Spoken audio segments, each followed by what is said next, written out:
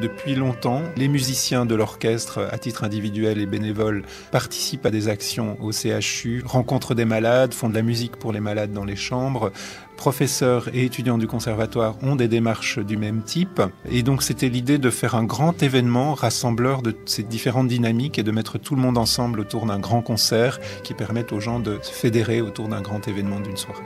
Musique, concert, musique, temps suspendu. On va entendre un concert en deux parties. Donc la première partie, ce seront des créations de deux professeurs de composition du Conservatoire de Rouen qui ont euh, composé leurs pièces en lien avec ce qu'ils ressentent euh, quand ils rencontrent les malades et ce qu'ils vivent dans les services. Et la deuxième partie, on est sur de la musique française beaucoup plus euh, connue, hein, puisqu'il y a le boléro de Ravel et Espagna de Chabrier. Les deux orchestres, celui du Conservatoire de Rouen et celui de l'Opéra de Rouen en Normandie, sont associés pour faire un vrai concert de grande qualité, concert qui sera euh, aussi retransmis euh, au CHU.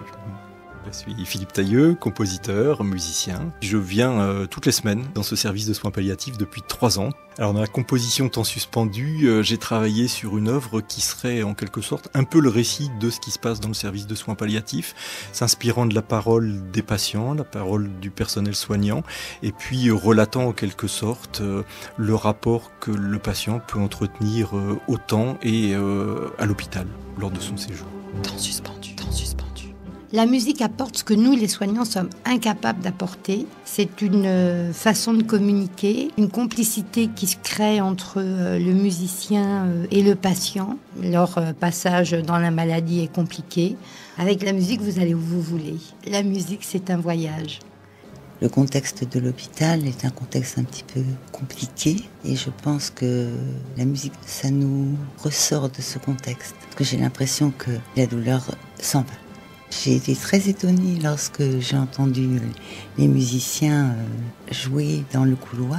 Déjà, ça me sort du lit. J'ai envie d'entendre davantage, d'entendre plus fort, parce que pour moi, la musique est un havre de paix.